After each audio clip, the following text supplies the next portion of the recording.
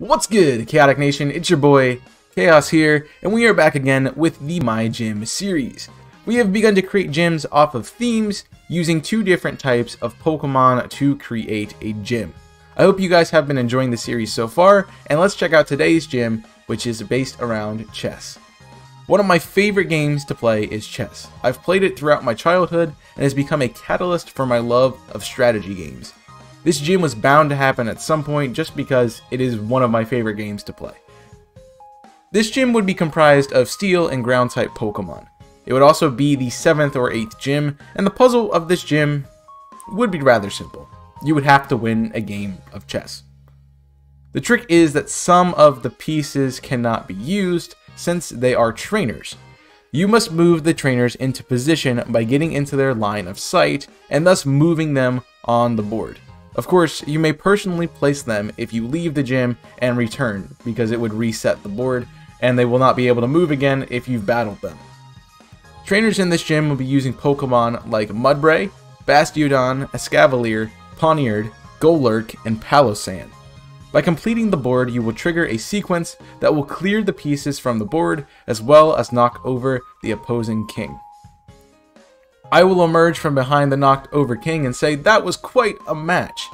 It's been a while since somebody's beat me in chess, but let's see how you fare in a Pokemon battle. On guard, and the battle begins. Now I've chosen my team more based off of Pokemon puns since it's another thing that I really enjoy, rather than Pokemon that actually would resemble the piece. So I will mention both in case you want to prefer one over the other. To start with, I will be using a Rookidee at level 38. Yes, I know it's kind of weird that I'm using a basic Pokemon in this gym, but Rookidee is here to resemble the Rook. While this may seem like an easy knockout, Rookidee is holding a Focus Sash in order to live a hit. It also knows Brave Bird, Reversal, Attract, and Tailwind. Rookidee is able to set up with Tailwind and Attract in order to make itself useful for the rest of the team. An alternative Rook-like Pokemon could be Bastiodon or Stakataka if you want to include Ultra Beast. Next up is a level 39 Corviknight to resemble the Knight. If you'd rather use a horse Pokemon for this slot, I would recommend Mudsdale. Either way, Corviknight knows Brave Bird, Iron Defense, Iron Head, and Body Press. Its presence also causes you to be unnerved, so you can't eat berries. Next up we have Bisharp, the Bishop, at level 40. Yes, this is a legal Pokemon, since you can catch a level 33 Bisharp in Pokemon Ultra Sun and Ultra Moon. I know Bisharp, you get a Bisharp later in the game if you level up a Pawniard, so this is legal. Check your sources. Bisharp knows the moves Knock Off, Confide, Iron Head, and Guillotine. I thought Guillotine was a pretty cool way of adding a move to this Pokemon, since using Guillotine is also associated with power, and, you know, as a Bishop, they had a lot of power in history, so I thought that was pretty cool. Also, it can be frustrating to deal with if you come into this gym under leveled because if I land a guillotine, you just lose. And yeah, you aren't going to get by that very easily. God save our next Pokemon at level 42, which is the Nidoqueen. The Queen is an instrumental piece in the chessboard for control, so Nidoqueen is prepared to take you on with Earth Power, Sludge Bomb, Thunder, and Blizzard. Much like her playstyle in chess, the Queen gives no mercy, and that's the reason I chose Thunder and Blizzard over something more accurate like Thunderbolt and Ice Beam. Nidoqueen will have boosted damage thanks to its sheer force ability, which means it won't be able to paralyze or freeze you or poison you, but it can do a lot of damage. Make way for the king. Nidoking is at level 41.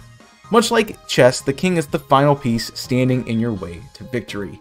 Nidoking has Earthquake, Outrage, Toxic, and Protect. This thing is a powerful force, although hopefully you won't have to get to this point in the bad battle, so that way the queen can take you out, or maybe one of the other Pokemon, but who knows. You might have a strategy. If you can defeat me, you will get the check badge, as well as the TM for counter. Using that move is a great way to get the upper hand on your opponent, I will say.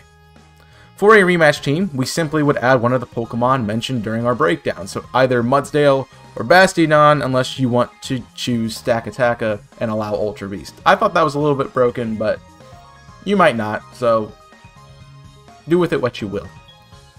As for the lore, I'm not really sure how this character would fit in with a specific game. Maybe something to do with Kalos and the royalty over there.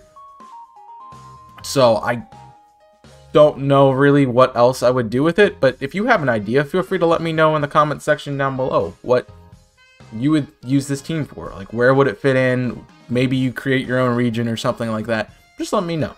I'd like to see your ideas. And thank you for watching.